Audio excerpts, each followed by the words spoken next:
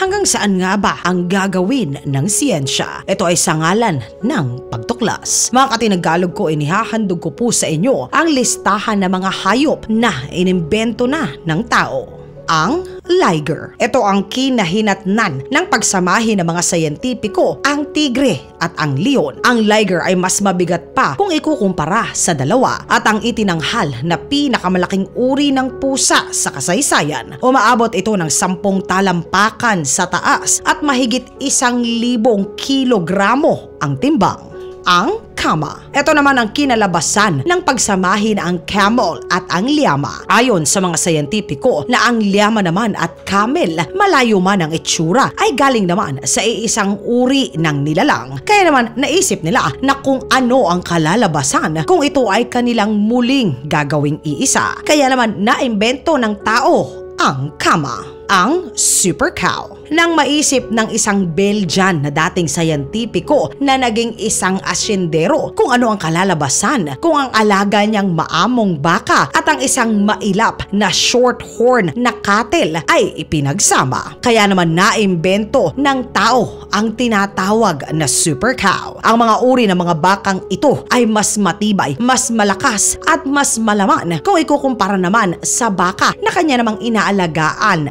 na sa kwadra.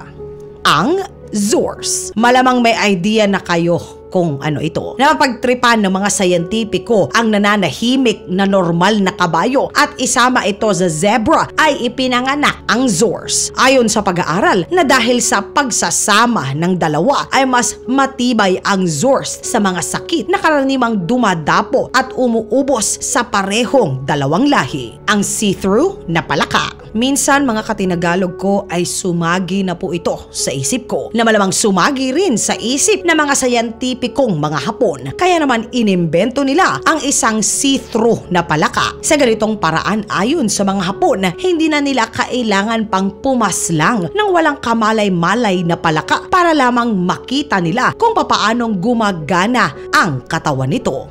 Hmm, ang enviro na baboy. Ang mga ganitong uri ng baboy ay ginawa ng mga sayantipiko upang mabawasan ng 65% ang phosphorus na inilalabas nila sa kanilang dumi at sa ihi. Ito ay upang mabawasan ang lason na itinatapon sa ilog at karagatan ng mga farm na nag-aalaga sa mga ito. Ito ay upang kanin nating mga tao. Sa ganitong pamamaraan nababawasan ang pagdami ng mga lumot na madalas na dahilan ng pagragasa ng red tide.